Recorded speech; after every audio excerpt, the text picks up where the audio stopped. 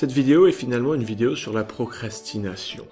Concernant la drague, les symptômes sont de ne pas réussir à aborder autant qu'on le voudrait et avec la régularité qu'on le voudrait. Je vais vous donner des pistes pour surmonter ces obstacles, c'est sur Morning Kiss.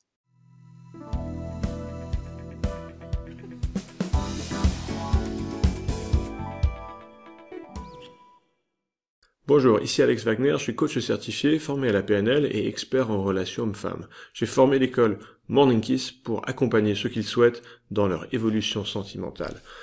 Pourquoi cette problématique-là est importante? Bah, parce qu'on n'arrive pas, ça nous arrive à tous, on n'arrive pas à se faire faire ce qu'on a pourtant décidé de faire. On est tous plus ou moins victimes de procrastination à un moment ou à un autre. C'est quelque chose de très humain et c'est quelque chose de très frustrant. Parce que c'est une barrière à la réussite, c'est une barrière à l'obtention de nos objectifs. Alors comment ça marche pour surmonter ces, barrières, cette procrastination? Je vais vous proposer quatre méthodes différentes. La première, c'est de remplacer la montagne qui est devant vous par le premier pas, et qui plus est que ce premier pas soit le plus petit imaginable.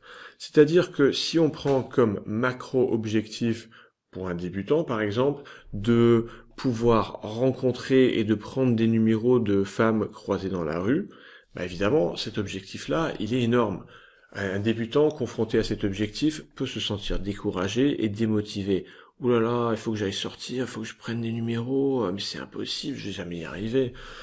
Donc on va décomposer ce macro-objectif en petits pas, en réfléchissant à ce qui doit arriver pour qu'on puisse arriver finalement à cet objectif. Donc pour prendre un numéro d'une inconnue croisée dans la rue, bah encore faut-il tenir en conversation pendant au moins 5 minutes, parce que sinon ce sera un numéro en carton.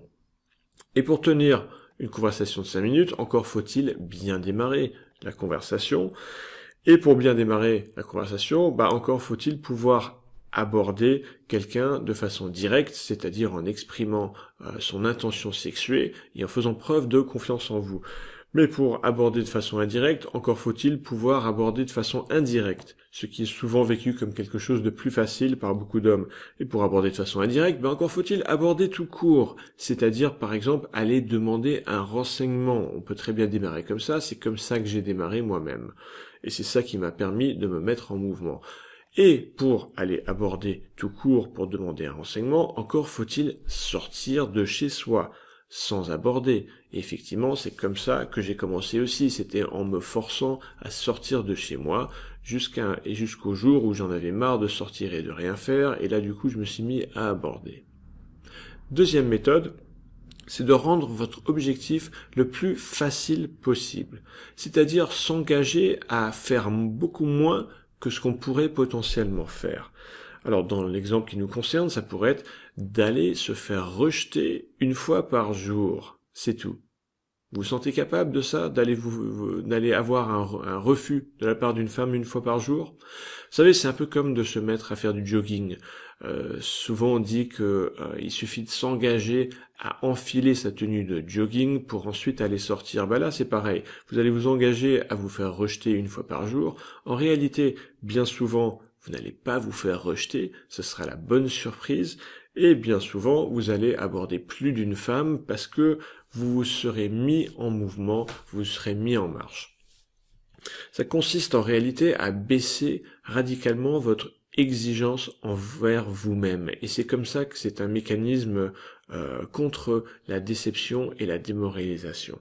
Par exemple, celui qui, euh, qui décide de sortir de chez lui dans le, dans le but d'aller coucher avec une femme, par exemple, bah, il risque de pas y arriver, du moins initialement. Donc ça va être décourageant, ça va être démoralisant. Alors que s'il s'engage à aller se faire rejeter par une femme, il a beaucoup plus de chances d'y arriver et se mettre dans une spirale positive par laquelle se faire euh, bah, se faire rejeter ne sera que le premier pas.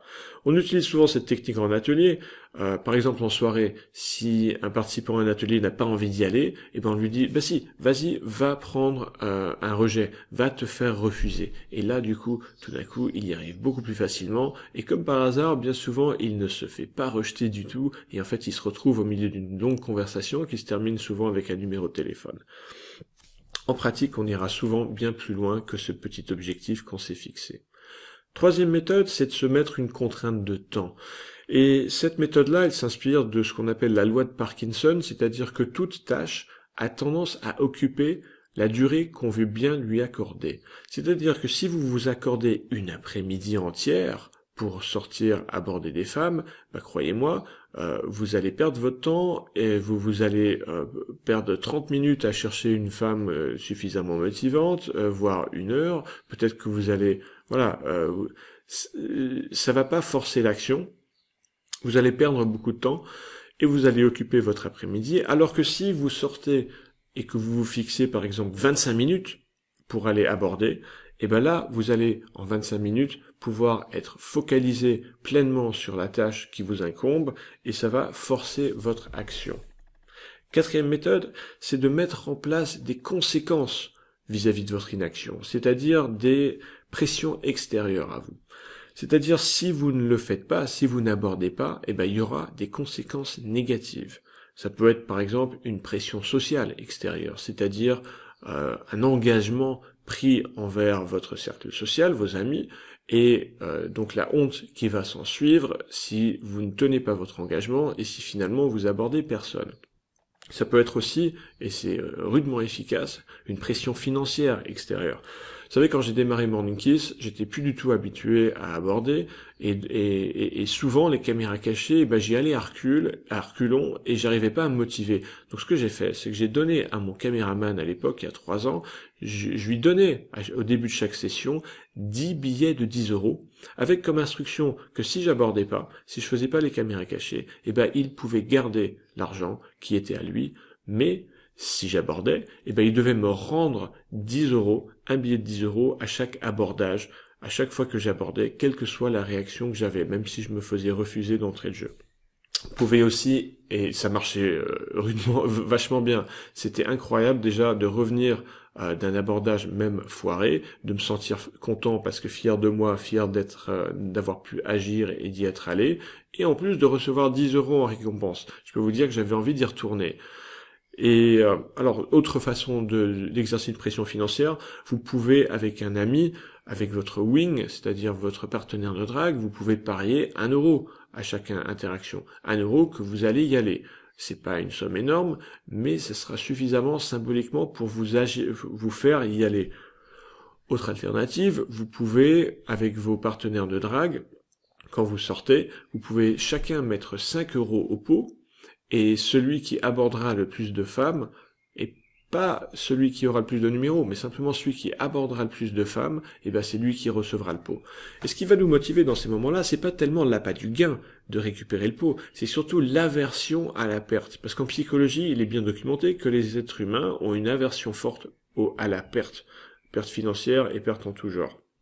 Autre variante sur le même thème, vous pouvez faire appel à des applications ou des sites tiers comme coach me, c'est-à-dire coach.me. Alors c'est en anglais, mais ceux qui comprennent bien l'anglais, vous allez y trouver une application gratuite qui va vous aider à tenir vos engagements envers vous-même. Et il y a aussi des modalités payantes, si vous le souhaitez, pour être suivi par des êtres humains à partir, je crois, de 15 euros par mois. Donc c'est relativement abordable. Alors voilà, c'était les quatre méthodes pour vous euh, contraindre et, pour vous, faire en sorte que vous allez arriver à aborder. J'aimerais dédier cette vidéo à un client à moi qui s'appelle Jacques, parce que c'est lui qui m'a inspiré de faire cette vidéo. Voilà, euh, Jacques, c'est un homme mature, il fait, il, fait du coaching avec moi et il s'est vastement amélioré. C'est-à-dire que là où auparavant, quand il abordait une femme, il perdait ses moyens et il devenait comme un petit garçon, bah maintenant, il arrive à rester l'homme viril et attirant qu'il est quand il aborde. Et donc, quand il y va, bah, il est bon il arrive à avoir des numéros et il arrive à concrétiser euh, régulièrement ces numéros en relation. Donc il se rend pleinement compte de l'efficacité d'aborder dans la rue, dans les, dans les espaces publics et dans les soirées. Simplement, Jacques n'arrive pas à y aller autant qu'il le voudrait. Il n'arrive pas à se mettre en marche. Donc c'est pour ça que j'ai dédié cette vidéo à lui. Donc maintenant, Jacques, tu n'as plus d'excuses. Allez, au boulot.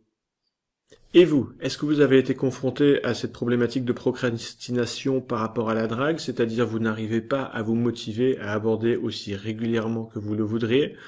Parlons-en, la discussion continue après la vidéo dans la zone de commentaires en bas. Et n'oubliez pas de mettre un pouce vers le haut si vous avez apprécié la vidéo et un pouce vers le bas si c'est pas trop votre truc.